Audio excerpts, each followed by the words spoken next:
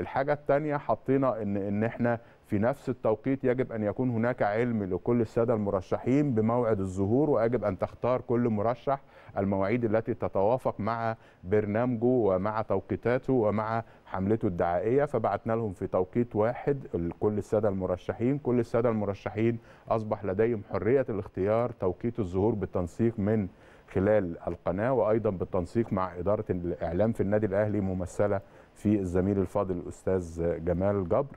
أيضا وضعنا مجموعة أيضا أخرى من المعايير يجب أن تكون هناك محددات واحدة للأسئلة التي تطرح على السادة المرشحين ويمكن أيضا من هو الذي يستطيع أن يقدم هذه البر... هذا البرنامج بحيادية كاملة؟ مش عشان حضرتك موجود إحنا ح... يعني حطينا مجموعة من الأسماء ومجموعة من الاختيارات يجب أن تكون هناك أيضا أسئلة واحدة وأيضا أسئلة تتناسب مع طبيعة المناصب.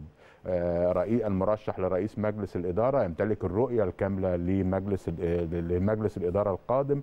أيضا مرشح على مناصب أخرى يجب أن تتناسب الأسئلة مع طبيعة المنصب المرشح له المرشحين من الشباب أيضا رؤيتهم لمستقبل النادي الأهلي وكيف يمكن أن يساهموا في هذه الرؤية المستقبلية؟ باعتبار إن النادي الأهلي الفلسفة الأساسية للنظام الأساسي عندما حدد المناصب أو عدد المرشحين في كل منصب وفي كل مرحلة سنية كان الهدف الأساسي هو استدامة واستمرارية أجيال النادي الأهلي وده مبدأ تاريخي عند النادي الأهلي دايما فكلمه تاريخ.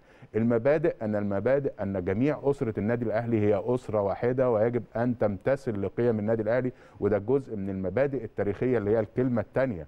أيضا إن إحنا كمان في انتخابات أيضا تتفق وعمليه التطوير اللي كادها النادي الأهلي خلال المرحلة اللي فاتت وبالتالي نحن يجب أن تكون لدينا رؤية تطويرية من خلال كيفية استثمار المنصات الإعلامية القوية التي يمتلكها النادي الأهلي في تطوير التواصل مع أعضاء الجمعية العمومية الذي سوف يكون لها حق التصويت على الانتخابات وأيضا على الجمعية العامة زي ما حضرتك بتحب تذكر دايما جماهير النادي الأهلي العريضة وده دايما مسؤولية أيضا تاريخية للنادي الأهلي ومنصاته الإعلامية تجاه جماهيره دايما ما يحدث في الداخل يجب أن ينتقل بكل شفافية وبكل نزاهة إلى جماهير النادي الأهلي العريضة ليس فقط داخل مصر ولكن الموجودة في الدول العربية وفي القارة الأفريقية وفي كل أرجاء المعمورة اللي إحنا دايما بنفتخر بيهم ودولت مصدر دعم وقوة النادي الأهلي دائما.